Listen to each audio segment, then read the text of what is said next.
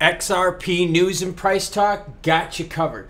What if I told you that PayPal's PYUSD stablecoin is getting involved with a little bit of XRP and Doge action? Along with, yes, one billion unlocked in the market, we understand it, but what's going to happen with that billion that just got unlocked? And did you catch the shirt in the previous screen? That's right, White Sox. Why? Because it's the last game of the season. Glenn chimes in and says it's not that you're negative everything that's happening is negative. You're just bringing the reality of it. I totally agree with you there. I seriously, it's just this is just a negative market right now. And to show you that I'm not surrounded in an echo chamber of people that just give me praise, I'll show you how humble I really am. Sean Crother says, just shut up about your workouts. The other day I wanted to Ralph when you said you had to do a stretching session. I did. Dude, my hamstrings get super tight. I log lots of miles. I bike a lot. I run a lot of hills. I lift a lot. Yeah, my hammies get tight. Sometimes I ice my hammy.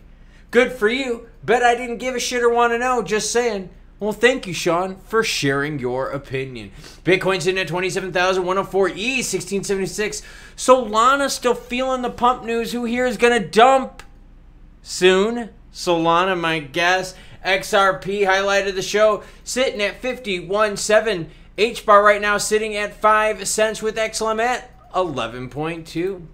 Users can now trade XRP and Doge against PayPal's PYUSD stablecoin. That's actually a good thing, right? That's another ramping mechanism, right? Another way to exchange. Good pairage action right here. But let's take a quick look at that announcement from Crypto.com.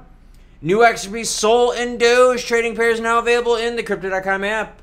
Trade them with PYUSD right now, and as always, any article you see in this video, along with my other videos, will be linked in the description below. By the way, baseball starts at 307. All games start at 307, so there's no competitive advantage. Pretty cool day, last day in baseball. But I like seeing news like this, but what I don't like seeing is this. The market cap of PYUSD not moving up. A lot of people aren't getting into it. In fact, you look at the launch, right? The launch got it up to 41 and a half market cap. We're now sitting at 44 and been 44 for a while. So you're not seeing much more movement of people getting in. It's kind of like the people that wanted to get into PYUSD already did. And then there's just them playing in the pool by themselves. Kind of interesting. XRP's explosive surprise 1 billion tokens unlocked. Will this send XRP price soaring? Find out. You gotta be fucking kidding me. Seriously? I mean, like, I I hate these BS articles like this because you know what? We all know a billion was getting unlocked. We all know that, yep, it's to be happening now for quite some time. We get that there's more in the circulating supply. We get that more is locked up in escrow. It's the same shit, different month. What effect does it have on the price? Eh, nothing really.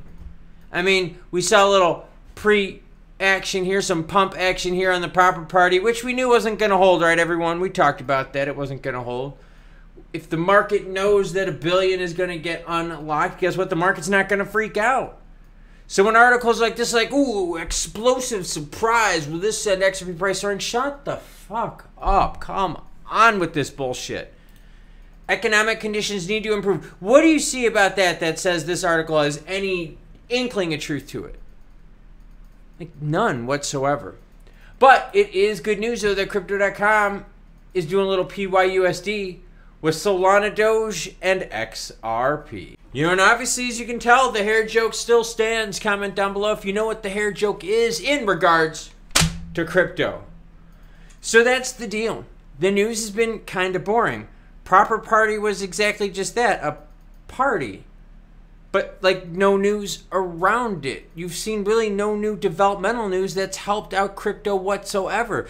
The government just got in a 45 day extension to stop the whole shutdown, which pushes that looming cloud out there. You've also got no regs. You've also got other banks and stuff around the globe. I did a story on it in England town, you know, you can't spend your crypto like with us. It's just no, no, we're not going to allow you. We're going to ban it. Go somewhere else. End of story. So there's very interesting times here. Some of the not so exciting times, I'll be honest with you.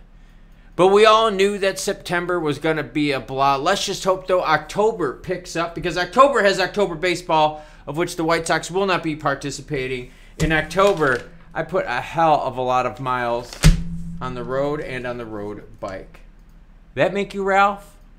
So what am I doing today? Recovery drink. Why? Because I ran already today. You cool cats, though, enjoy the last day of baseball regular season.